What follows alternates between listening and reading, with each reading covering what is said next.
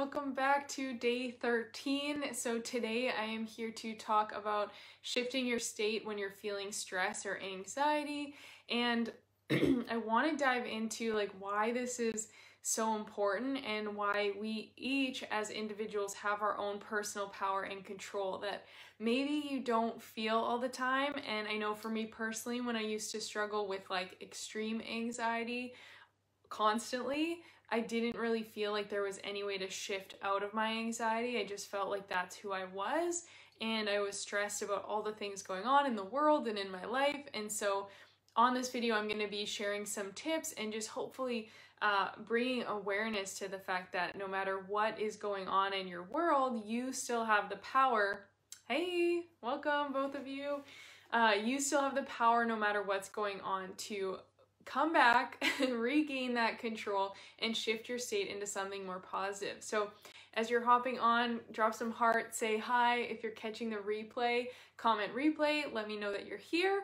And um, yeah, we'll just get going.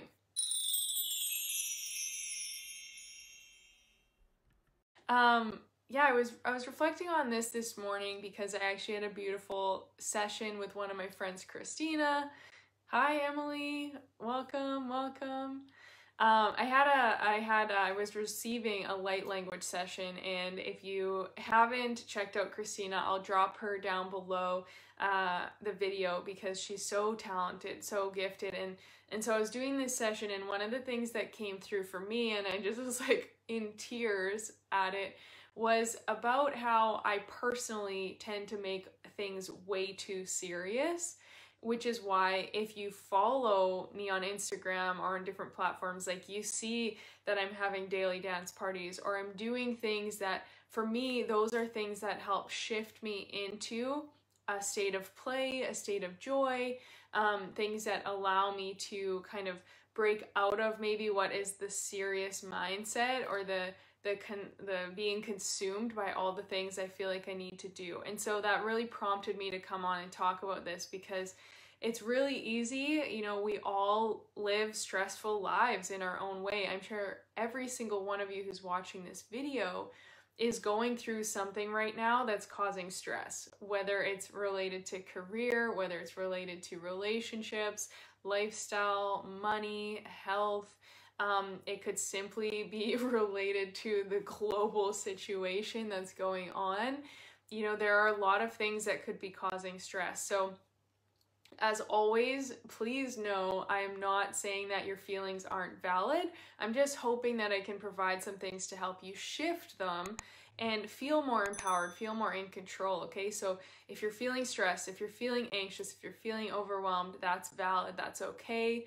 Uh, it's not bad. Don't judge yourself. Don't feel guilty. You know that just creates more more anxiety and stress if you feel guilty about it or if you're beating yourself up. So um, practicing acceptance has been a huge part of my life to just kind of be aware. Okay, like I'm feeling pretty stressed right now. I'm feeling pretty anxious, and instead of beating myself up over it, I'm going to just like accept that this is where I am right now and that's okay a lot of times these emotions just really want to be felt. And so, how often you can let me know in the comments how often have you felt stress or uh, stress or anxiety and instead of like processing it you just continue your busy day or you have all these things you need to get done or you're you know just kind of bottling it up pushing it aside and focusing on other things right um, and we're compartmentalizing it so we can continue and and sometimes that's a beautiful coping mechanism by the brain because it keeps us from feeling fully consumed and yet it's still there. So if you are feeling stress or anxiety before this is a super tangent but if you're feeling that way allow yourself to feel that and allow those emotions to come up you know realize they're valid maybe you just need a good cry. Maybe you need to journal, maybe you need to go outside, uh, do some kind of movement or exercise, whatever it may be, um, to help you release that, okay?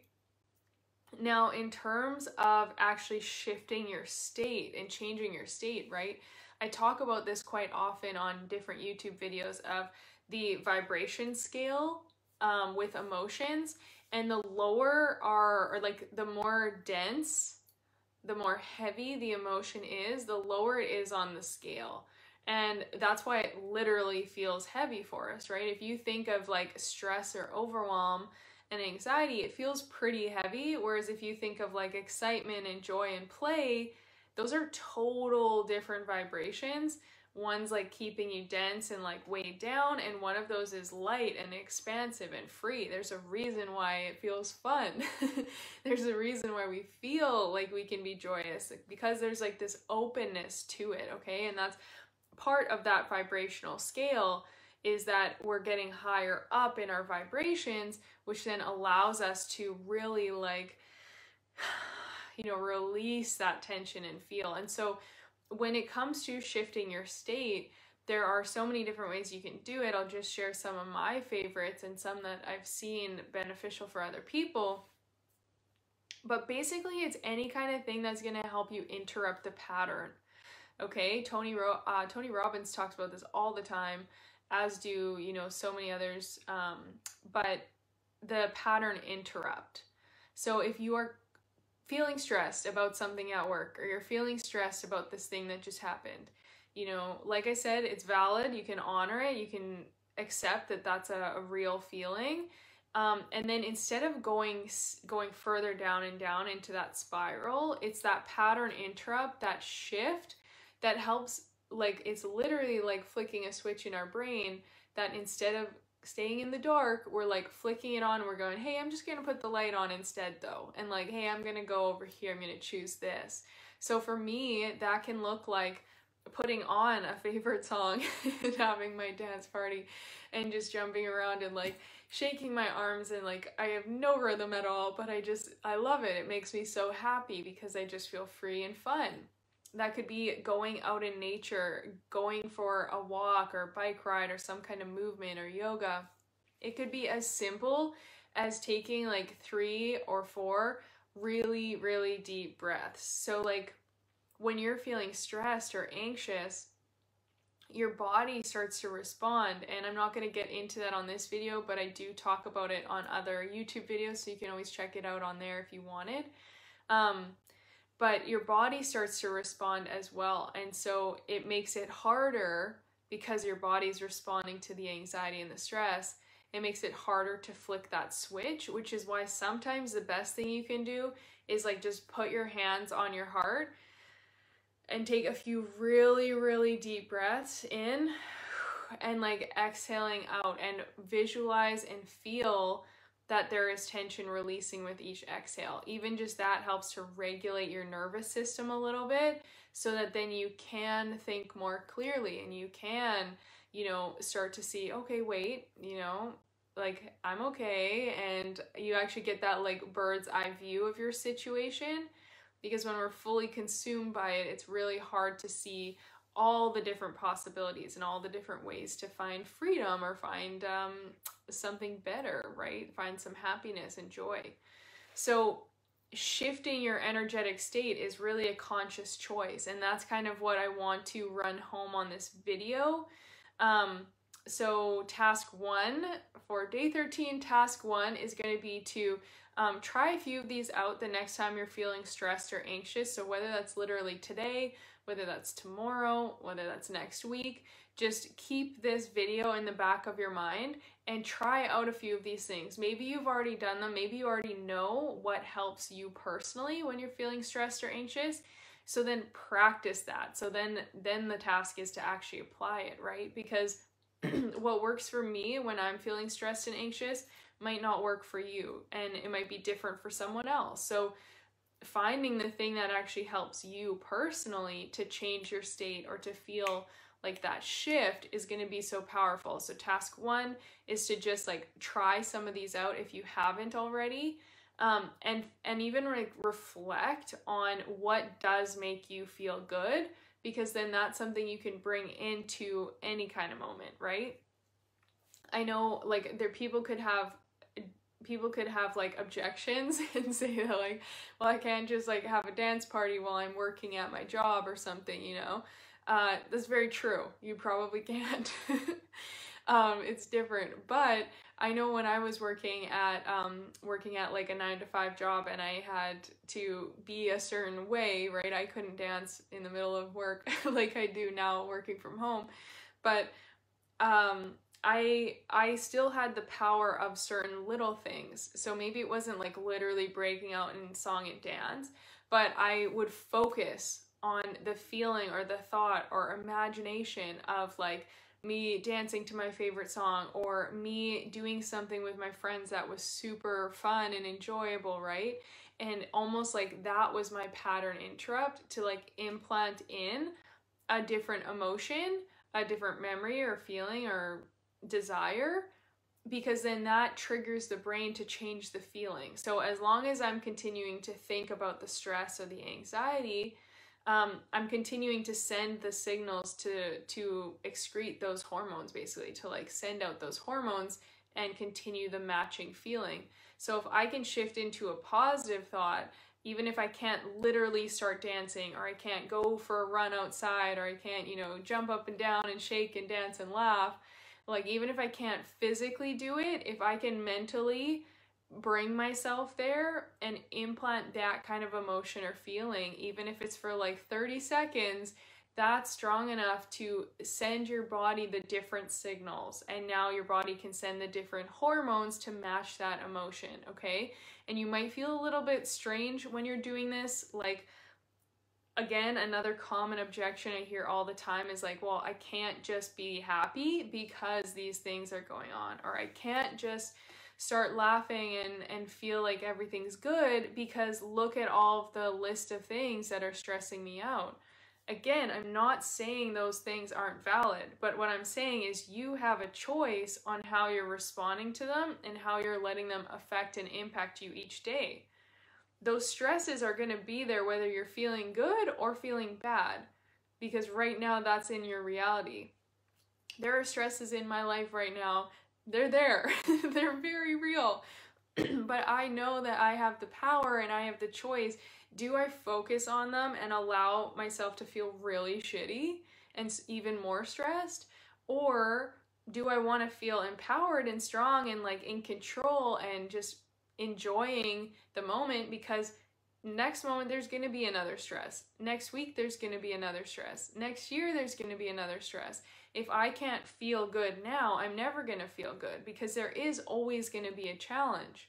There is always going to be something that we're moving through. That is part of life, unfortunately, and fortunately, because it's a great uh, way to learn. But I know that I have the choice of where I focus, and I know that if I focus on the stress and the anxiety and the things that are causing that, it just pulls me down. It makes me feel worse and it makes me feel really stuck on how to act and how to shift.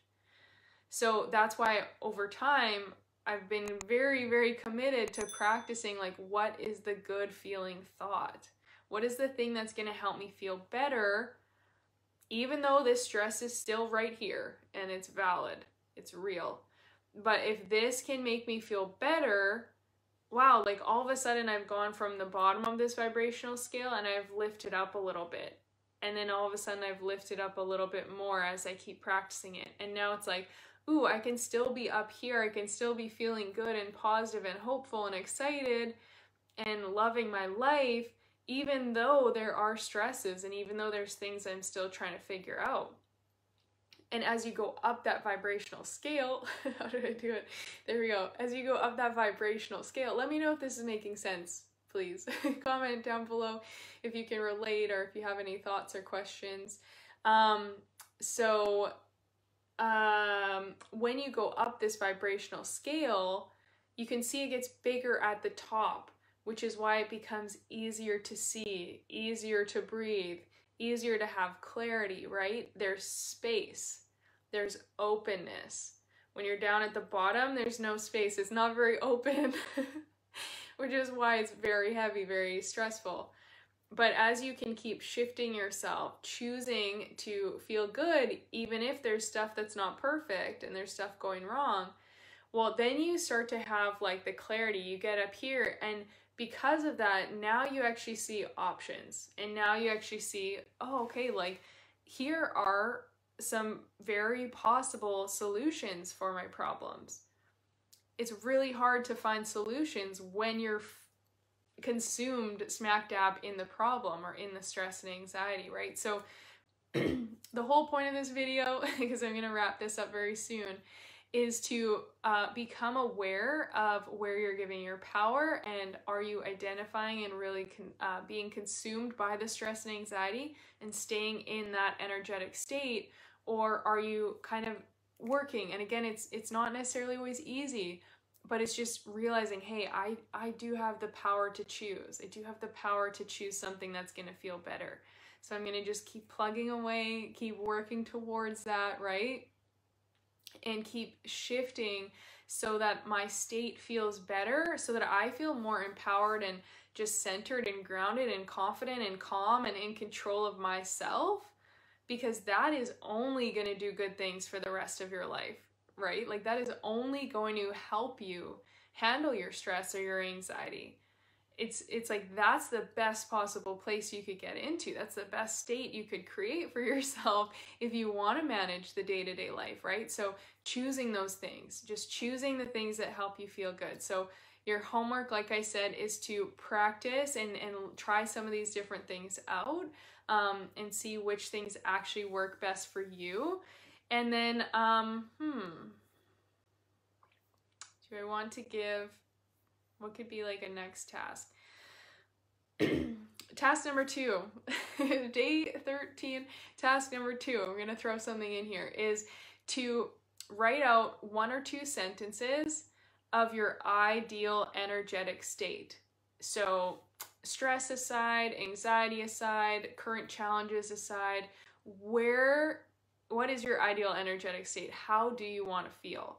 Write out one to two sentences about that in the present tense. Like, I love feeling blank, blank, blank. Or I'm so happy and grateful that this, this, this is my reality. Or it feels so good to be in control of my emotions, to be, you know, choosing the positive feelings or positive thoughts every day.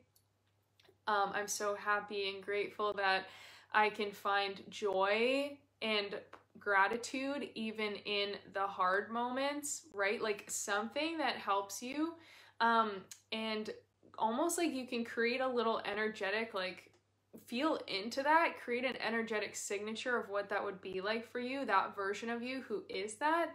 And then I recommend like reading this every day. uh, especially if you're someone who struggles with a lot of stress, anxiety, and overwhelm, the more you can remind yourself that this energetic state of being is possible, that this is a choice, that you can choose and actively work towards being that person every single day, the more you realize that, the less you're going to be so consumed over here and identified over here, right? You get to just keep stepping baby steps day by day into that new state of being. So that will be task two for today. And um, yeah, then, you know, if again, if this is something you struggle with a lot, maybe you set that as a reminder in your phone so that it goes off a few times throughout the day. Or you make it your phone screensaver so that you can look at it and you can see, oh, yeah, right. I get to choose to be this person, right? Or I'm so happy and grateful that I'm this, this, this. This is a choice. I'm going to choose that right now. Okay? I'm going to choose what I can control, which is only myself. I can't control all the things outside of me. I can only control how I handle it, how I respond to it.